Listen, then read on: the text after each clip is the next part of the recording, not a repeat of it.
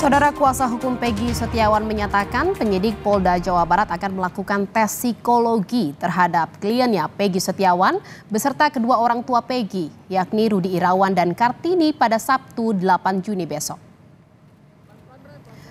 Kuasa hukum Peggy Setiawan mengaku belum mengetahui apa maksud dan tujuan dilakukannya tes psikologi terhadap Peggy dan kedua orang tuanya.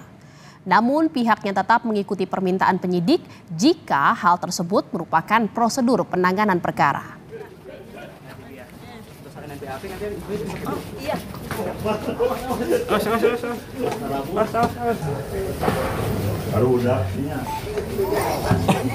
Hari Sabtu nanti, hari Sabtu besok ini, berarti tanggal 8 ya, itu pihak penyidik akan mengundang ibunya Peggy uh, ibunya PS ya, saya ralat ibunya PS dengan bapaknya.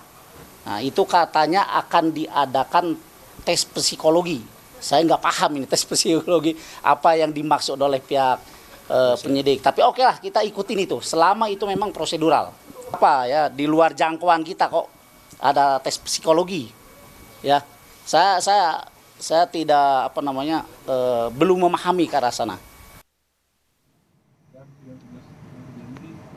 Berkenan dan mau bisa hadir memberikan keterangan sebagai Cirebon semua. Berarti ada dua Cirebon, satu Merawat.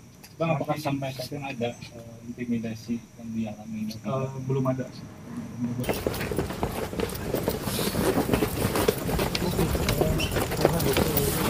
Awas, awas, awas, awas, awas mobil, awas mobil. Mobil, mobil sini ya. Eh mobil. Oh. Teman Eki dan Vina, Liga Akbar mengatakan Eki pernah bercerita dan menunjukkan sosok laki-laki dalam foto yang disebut tengah bermasalah dengannya pada 2016 lalu. Liga menyebut sosok yang ditunjukkan Eki kepadanya bukanlah Peggy Setiawan yang kini ditetapkan tersangka. Kuasa hukum Liga Akbar mengatakan kliennya memiliki hubungan yang sangat dekat dengan Eki dan Vina. Pihaknya menyebut Eki bahkan pernah bercerita dan menunjukkan foto seseorang yang disebut sedang bermasalah dengannya 8 tahun lalu.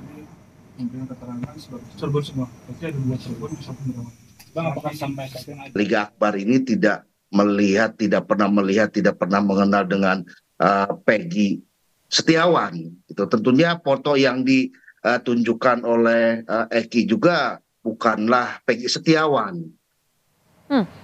Jadi sosok yang ditunjukkan oleh Eki, sosok uh, foto yang ia sebut sedang bermasalah dengan orang ini, bukan sosok yang sama dengan sosok Peggy. Terlepas dari apakah mereka sama sama-sama namanya Peggy begitu ya? Betul, betul, Mbak. Oke. Okay. Untuk menuntaskan kasus pembunuhan Vina dan Eki di Cirebon, Jawa Barat 2016 lalu, Polda Jawa Barat membuka layanan hotline. Masyarakat yang memiliki informasi tambahan bisa menghubungi nomor layanan 0822 1112 4007. Seluruh informasi dari masyarakat akan didalami dan diverifikasi supaya bisa dipertanggungjawabkan secara hukum.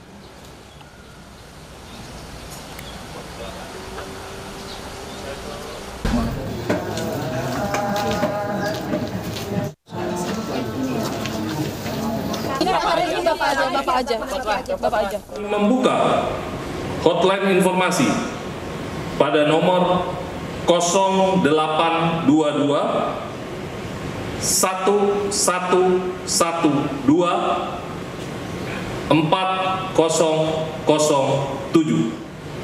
Mohon bantuan dan dukungan dari masyarakat apabila ada informasi tambahan berkenan menginformasikan kepada kami untuk melengkapi informasi yang ada.